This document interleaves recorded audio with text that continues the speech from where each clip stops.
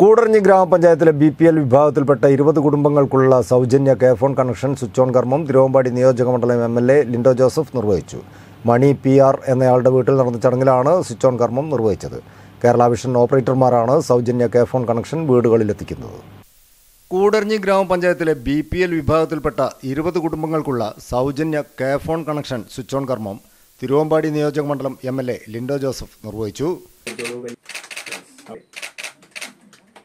എല്ലാവർക്കും ഇന്റർനെറ്റ് വരുന്നു. നമ്മുടെ കേരളത്തിന്റെ പ്രത്യേകത ഇന്റർനെറ്റ് അവകാശമാക്കിയ സംസ്ഥാനമാണ് നമ്മുടെ സംസ്ഥാനം. വേറെ ഒരു സംസ്ഥാനമില്ല. നമ്മുടെ അവകാശമാക്കിയ മൗലികാവകാശങ്ങളുടെ ഗണത്തിൽപ്പെട്ടി നമ്മുടെ ഇന്റർനെറ്റ് സൗകര്യം എന്നുള്ളത് അവകാശമാക്കി മാറ്റിയ ഒരു നാട് കൂടിയാണ്. അപ്പോൾ തീർച്ചയായിട്ടും എല്ലാ വീടുകളിലേക്കും ഇന്റർനെറ്റ് കണക്ഷൻ ഞാൻ പറയുന്നത് ഇതൊരു പക്ഷേ ഒരു വിദേശ രാജ്യങ്ങളിൽ പോലും ഉണ്ടാവില്ല.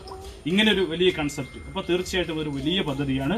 അത് മാതൃകാപരമായി കുറഞ്ഞ പഞ്ചായത്തിൽ കേരള വിഷന്റെ സഹായത്തോടു കൂടി നടപ്പിലാക്കാൻ വേണ്ടി കഴിഞ്ഞ് ഇപ്പോൾ ഇരുപത് വീടുകളാണ്.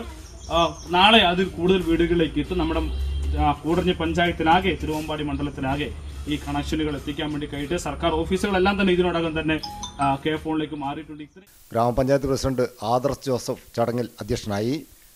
ചടങ്ങിൽ വാർഡ് മെമ്പറും ആരോഗ്യ വിദ്യാഭ്യാസ സ്റ്റാൻഡിംഗ് കമ്മിറ്റി ചെയർമാനുമായ വി എസ് രവീന്ദ്രൻ ക്ഷേമകാര്യ standing committee chairperson Rosly teacher panchayat അംഗങ്ങളായ Elsamma George Jereena Roy Seena Biju പ്രദേശവാസികളായ Radhakrishnan Sugunan M G Gracy Adappatt Mani P R എന്നിവർ സംബന്ധിച്ചു.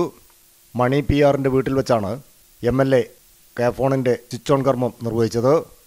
കേഫോൺ കൺഷൻ എന്റെ വീട്ടിൽ കിട്ടിയതിൽ ഒരുപാട് സന്തോഷിക്കുന്നു. അതുപോലെ വളരെ സാധാരണക്കാരുടെ ഇടയിലേക്ക് നമ്മുടെ സർക്കാർ ഇറങ്ങിച്ചെന്നുകൊണ്ട് അവരുടെ വിഷയങ്ങൾ പഠിച്ച് നമ്മുടെ എല്ലാ പ്രശ്നങ്ങളിലേക്കും കടന്നു ചെന്ന് സർക്കാരിന് ഒരുപാട് നന്ദിയും കടപ്പാടും അറിയിച്ചുകൊള്ളുന്നു.